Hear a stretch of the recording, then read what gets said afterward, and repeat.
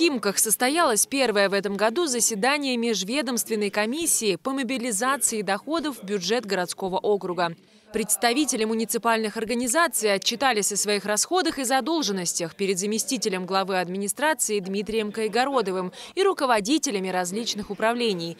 После обращения губернатора особенно актуальным стал вопрос о благоприятном экономическом климате в муниципалитетах.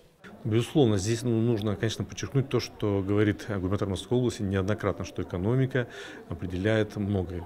И здесь, конечно, задача именно этой комиссии а, неформально подходить а, к ситуации долг, должник, а искать варианты, искать варианты, которые будут взаимовыгодны, которые ну, помогут а, людям или организациям, или физическим лицам, или организациям, которые попали в это, или находятся в этой ситуации, когда они являются должниками, вот, а, структурировать и раз, ну, а, найти приемлемый вариант погашения долга. На сегодняшнее заседание было приглашено 22 арендатора с общей задолженностью в 41,5 миллион рублей и 23 юрлица с неуплатой налогов на сумму почти 60 миллионов рублей.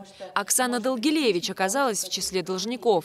Спорная ситуация возникла с земельным участком, который ее компания сначала арендовала, а затем выкупила. Оказалось, платить арендную плату предприниматели должны были до того момента, как запись о регистрации сделки будет внесена в Росреестр. Мы так и не поняли из этого ответа, э, надо нам оплачивать арендную плату или не надо. А потому что, по сути, мы уже выкупили участок, и документы находятся э, сейчас в стадии регистрации. То есть мы свои обязательства по договору купли-продажи выполнили. Но вы же пользуетесь нашей землей. Вот обычная абстрактная логика. Вот сидит налоговая. Спросите, когда она начнет вам начислять?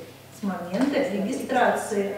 Значит, вы этот промежуток пользуетесь и будете добры оплачивать аренду. Многие предприниматели стараются оплатить налоги сразу после получения приглашения на ковер в администрацию. Остальными в случае неявки или неуплаты будут заниматься правоохранительные органы.